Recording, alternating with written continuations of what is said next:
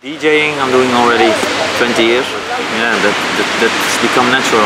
You know that it's you love music and you're you're doing on your in your, in your bedroom playing music. And then you get invited to play a school party and then it's you like it and you like it more and then suddenly you're sitting in Ibiza and you have to understand that 20 years ago the DJ was not the DJ like like he is now. It was not just a guy in the corner of a, of a club playing some records.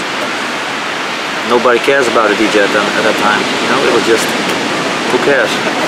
Nobody wants to be a DJ at that time. yeah, a lot of people look to uh, the, the, the, the, the, the stardom and everything from a DJ. That's why they become, they want to be a DJ, but that's, I think that's the wrong way to become a DJ. You want to be a DJ because you like to play music for a crowd, not, not for, to, to, yeah to be a star or whatever.